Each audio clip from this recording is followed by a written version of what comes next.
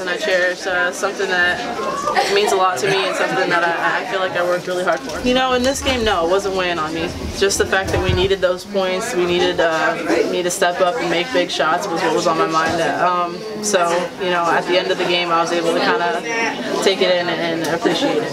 It definitely means a lot more, you know, to have it mean something in a game like this. You know, a game that you know takes us to the Final Four and where we really needed me to knock in shots, me to step up and and make a big play. Oh, it's a huge deal. Anytime you're on the floor with somebody that's making history, uh, you're so proud of them, and, and I can't be more proud of Kaleena than I'm surprised at all. Uh, once I heard that she was close to the record, I knew she was going to break it.